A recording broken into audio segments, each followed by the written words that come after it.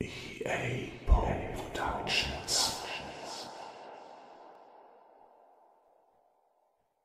EA Productions liest Theodor Koch-Grünberg Indianermärchen aus Südamerika. Heute der Alligator und die streitbaren Weiber.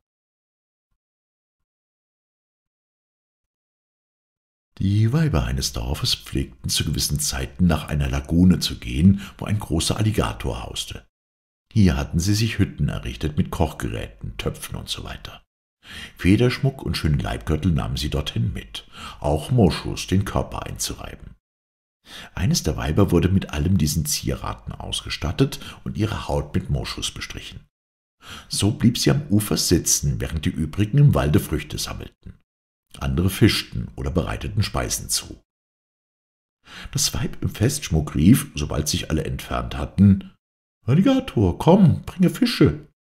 Der Alligator antwortete, Ich komme. Er kam dann hervor, ein Bündel Fische tragend. Dann legte er seinen Kopf der Frau auf den Schenkel, ließ sich von ihr die Parasiten absuchen und schlief ein. Die anderen Weiber bereiteten unterdessen das Mahl und gingen rasch nach Beendigung des Festes nach Hause, indem sie den Männern nur die leeren Fruchtschalen brachten.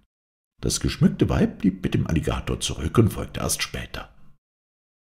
Schließlich wunderten sich die Männer, dass die Frauen immer nur mit leeren Schalen zurückkamen und beschlossen, der Sache auf den Grund zu gehen. Einer befahl seinem Sohn, die Mutter zu begleiten. Nach langer Weigerung ward er zugelassen und erzählte den Männern dann, was er gesehen hatte. Zwei Tage später gingen diese selbst zusammen an den See, während die Frauen zurückbleiben mussten. Auch sie rieben sich mit Moschus ein und riefen den Alligator. Dieser kam wie sonst, brachte Fische und legte sich zum Schlaf nieder, wurde nun aber von den Männern mit einer Keule getötet und in den Wald geworfen. Darauf gingen die Männer jagen, töteten noch andere Alligatoren, Reiher, Enten sowie Aasgeier und kehrten mit der Beute zurück. Spöttisch riefen sie den Weibern zu, Ihr habt uns betrogen, jetzt könnt ihr Aasgeierfleisch essen.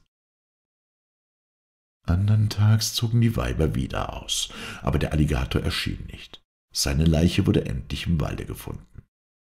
Voll Zorn eilten sie nach Hause, machten sich Pfeile und Bogen und forderten die Männer zum Kampf heraus. Die Männer nahmen die Sache nicht ernst und legten die Pfeile umgekehrt auf den Bogen, um keinen Schaden zu tun. Die Weiber aber schossen mit der Spitze und töteten die Männer, bis auf wenige, die entkamen. Die Weiber zogen nun den Fluss hinab. Man hat nichts mehr von ihnen gehört. Solange der Alligator gelebt hatte, sprachen alle Alligatoren. Seitdem spricht keiner mehr. EA Productions.